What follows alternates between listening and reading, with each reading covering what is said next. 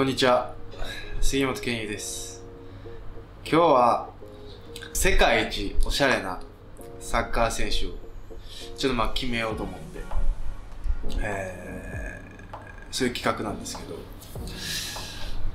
どなんかいろいろずっと見てたんですよね。インスタとかも含め。いやもちろんみんなおしゃれなんですよ。みんなめっちゃおしゃれだしかっこいいなとか思うんですけどなかなんかこうピンとこないというかこうめっちゃタイプじゃないというかでもタイプな人おるんですけどそのサッカーサッカー選手やったらあんまりいないですけどその海外のなんかねこうモデルさんとかあめっちゃおしゃれやなみたいなのが人いっぱいおって。まあでもえっとねサッカー選手っていうのにしようと思ったんですけどちょっとなかなかいなかったんでえっとちょっと変えます。あのもうジャンル関係なくちょっと選ぼうかなと思います。えっとまずえー、1人目なんですけど NFL のアメアメフトの選手で OBJ っていう選手がいるんですけどえーっとね選手としてもスーパースターでねめちゃくちゃ、まあ、僕もよく見るんですけどそれこそ本当に試合前とかそういう時とかにプレー集見たりするんですけど。でなぜ僕と同い年なんですよ。で結構ね私服もいけてて。でもなんかこれはあのあんまり僕はこういう服装しないんですけど、まあ、やってみたいなみたいな。このちょっとこういうえっとね、まあ、1枚目はこういう感じなんですけど。なんかこういうこうなんていうの？デムデニムにパーカーにこのハイカットのスニーカーみたいな。あんましないんでなんかこういうなこのファッションってこうななんていうの？ストリート系なファッション。もちょっとなんか最近好きやなと思ってきてえっとまあ挑戦したいなみたいな思ってますね。まあ上はね結構まあオレンジって言ってもなかなかこのパーカーはね着ないんですけどね。まあこのオレンジのパーカーはこれ丈が短めなんですけどこの下から出してるこの白 T シャツ、まあ、これが多分彼は肝やと思ってると思うんですけどこれがね僕もよく僕もよくっていうかまあこのパーカーからこのシャツを出すっていうのをよくするんですけどあとデニム。この OBJ はアミリっていうデニムがあるんですよ。アミリっていうブランドがあるんですけどそこまあデニムすごい有名で、まあ、僕もあの何本か持ってるんですけど彼はそのデニムをすごい多分お気に入りでいつも履いてますね。でこのスニーカーこの白のスニーカーはこれ僕も持ってるんですけどこのナイキとホワイトのコラボのスニーカーなんですね。これもう今めちゃくちゃ高くて多分560万するんじゃないかなプレネで。僕もよく履いてるんですけど。って感じですね。2枚目はね、まあ、なんてことはないですけど、まあ、この外人やからちょっと様になるっていうのはあるんですけどね。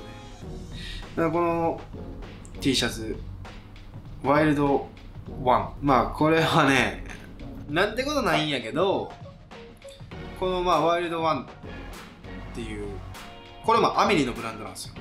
でこれパンツも多分アメリなんですよね。多分合わせてるんですけどまあ多分彼はナイキとまあ契約してるんかな多分。してんねんて。で、まあ、結構ナイキのスニーカーを合わせることが多いんですよ。このハイカットとか。結構限定のやつもねいっぱい持ってるんですごい羨ましいんですけど。で肝なのがやっぱこういう夏とかこのシンプルな感じの服装の時にやっぱこの時計で僕はちょっと違いを見せるっていうところはあるかな。これはパティック・フィリップのあのノーチラスのやつなんですけど。ようわかりますねこれで。はいもうあのベルト見たらわかるんで。これはね実はね僕も頼んでるんですよこの時計。いつ届くの？えっとね多分夏ぐらいなんでまあ7月ぐらいかな。ちょっとまたそれはね届いたら紹介しますね。えっとまあ OBJ すごいなんかねストリートな感じですごいおしゃれだなと思ってあともう一人ねいるんですけどこの方。この緑のジャケットこんなん着れる？普通。このおっさんがめちゃくちゃ渋いんですよ。多分イタリア人かな。まあまああのいっぱいねおしゃれな画像いっぱいあるんですけど、まあ、こんなん着れるっていうのをあえてこうチョイスしたんですけどこれねこの人もやっぱり中にジレ着てジレ着てるでしょ？中に白 T にやっぱ夏はこのスラックスとかに白 T にジレっていうのはやっぱね僕は結構好きなんですよ。でこのこの何？ベージュのブーツに紺のパンツに白 T に紺のジレ着てその上に緑のロングコートにボタン金のやつなんか合わせようと思わんからね普通の人。なんかそういうとこがねなんかまあまあこのやっぱこれがねやっぱ日本人やるとこうどうなるんやろなって思ったりもするんですけどね。このおっちゃんはね渋い。このでこの緑のコートのこのボタンが金っていうところがまたこれがもういい。スーツケースの色もね、ゴールドやから。ここで多分拾ってんねやろな。ファッションってやっぱ拾うん大事なんでね。あのほんあのすごい僕はこのファッションの師匠から教えてもらったことあるんですけど。この色で拾うんですよね。いろんなとこじゃ靴のこのラインをこの T シャツで拾うとこのじゃストライプのこの色でこう合わせていくみたいな。なんかそういうのもねやってますね。じゃあ次いきますね。まあこれまあなんてことはないんですよ。ねまあパッと見。でもねこれね結構こいつほんますごいテクニックあると思うんですよね。てかまずあのパッて俺もたまたまなんですけどこのパンツ多分俺同じの持ってるんですよ。同じのブランド同じかちょっとごめん。それは分からへんけどつい最近買ったんですよ。このほんまにこんな感じの色。でこれにね上ダブルの紺のジャケットなんか合わせようっていう考えはほんまなかったね。スウェードの、まあ、ジャケットっていうかライダースを合わせてた。でしかもちょっと待ってめっちゃ同じ格好してるわ。でこれ中紺やんか。俺中紺のニット着ててんやん。師匠やってますやん。まさか俺の真似しました。師匠ではないけど。やってるわ俺このコーディネート。やってるわ。これまたちょっと載せます。これでもスニーカーはどんな、そうやね。これ下何合わせてるんかめっちゃ気になんねんな。なんやと思う？いや絶対スニーカあの、いつもスニーカーって言うじゃないですか。ーうん。みんな、大概の人がスニーカーって言うんですかね。スニーカーはどっちなんですか？いやそれは大概はスニーカーや。普通に。まあ普通の人は多分普通の人はっていうかまあ大体はスニーカーやと思う。聞いたことないスニーカー？なんかなんかちょっとダサい。スニーカーの方が良くない？で、何やと思います？俺はいや多分なこいつはな多分なちょっと外してきよんねん。や俺は多分新婦普通の人は多分こうやって白のス普通のシンプルな白のスニーカー。白のスニーカー。聞いたことないスニーカーなんか。なんかちょっとダサい。スニーカーの方が良くない？白のスニーカー多分合わせてくると思うねんけど。多分ちょっと違う色合わせてきてると思うねんな。なんか白でもなんかちょっとライン入ってるとかちょっとなんかこう遊んでそう。でも逆になこれチェックででまあ紺中紺合わせてジャケット紺でボタン金やいやシンプルで攻めてるかもなこれは。俺やったら普通に白やな。ちょっとみんなこれ見てください。参考にしてください。俺結構このこの人の服装めっちゃ好きっすね。まあスーツとかも多いんですけどスーツとかもめっちゃ渋いんですよ。えっとじゃあ次いきます。まあこれもねなんてことはないんすよ。パッと見ね。パッと見はなんてことはないんすけど。でねこれねパッと見シンプルなんですけどもうねシルエットサイズ感全て完璧なんですよ。このデニムのこの色。そこのサイズ感。ほんでこの丈の短さ。もう抜群に好み俺の。でこれもねこの色この色合いのこのデニムっていうのがこのデニムじゃないんやろなこれなんかスラックスみたいなのスラックス。うん、みたいな感じやろね。で、この T シャツ、なんでかわからんけど、多分これちょっと中入れてんのかな、これ。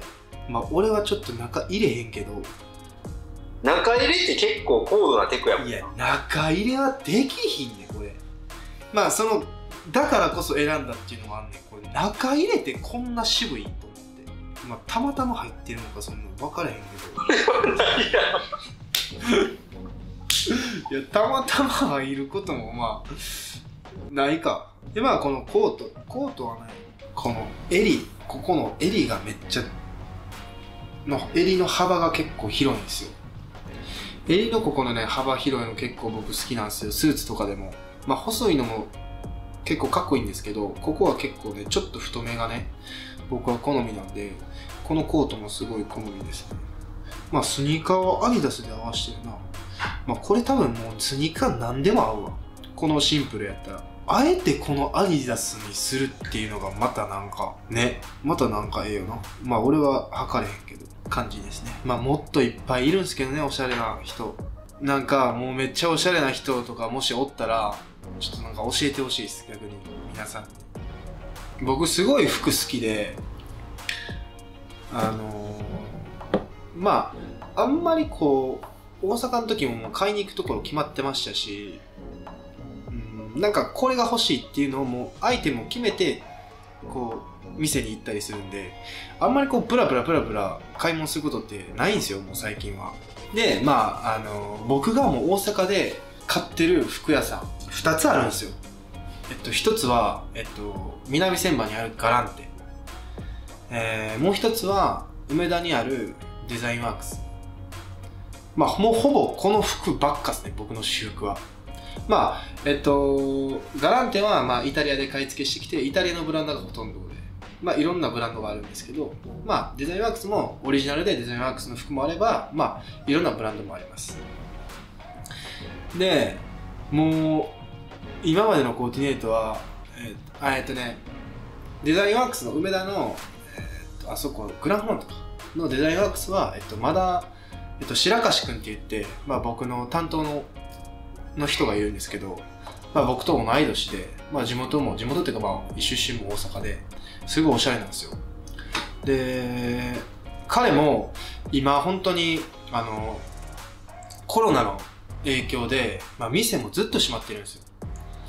っていうことはもうお客さんも買いに来れないし店として売り上げが立たないわけじゃないですか。でもその中でも自分の SNS であったりその最近 YouTube も始めてすごいどうやったら売り上げ立つとかまあこういう売り方もあるんじゃないかっていうその新しいスタイルを結構いろ今チャレンジしてるんでなんかすごい僕もね応援したいしまあ皆さんも本当にあの俺はいつもデザインワークス、えっと、デザインワークスで買うときはもう、まず全部全身のサイズを測って、えー僕も東京なんでなかなか大阪に行けないから、あの、まあ、SNS とかチェックしたり、まあ、なんかいいのあるとか言って送ってもらって、じゃあこれ欲しいってなったら、全部もう俺のサイズに全部寸法してるから、あの、全部それでもう合わせてもらうんですよ。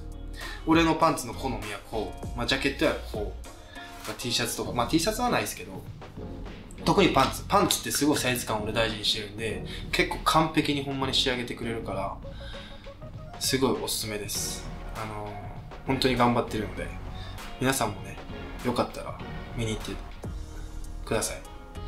まああとガランテはもうこのねあの僕の師匠にぜひ会いに行ってください。めちゃくちゃ面白い人です。まあ今日はこんな感じで。でまあ最近あのインスタライブとかでもよくあの服を自分のブランドであって自分で服を作りたいっていうのをまあ言ってるんですけどまあほんまにねやりたいんですよ俺。でまああの、まあ、やりたいとは思ってるんですけどまあもう本当にこだわって一から全部やりたい。えー、まあ生地も含めサイズ感とかもまあいろいろね考えあの今この時期なんであのすごい考える時間もありますしまあいろんなこうアイデアが浮かんだりしていろいろ考えてるんですけどまあいつになるとかはちょっと全然ね決まってもないし全くわからないんですけどまあ現役の時からえー、まあそういうファッションまあこれは本当にもう自分が10年前ぐらいからやりたいと思ってたことなんでまあもし、えー発表できるようになったら皆さんあのめちゃめちゃかっこいいもの作るんでよろしくお願いします。今日紹介した服であったり、まあ、インスタであったりあの全部あの載せるんでぜひ、あのフォローしてみたり参考にしてみてください。ありがとうございました。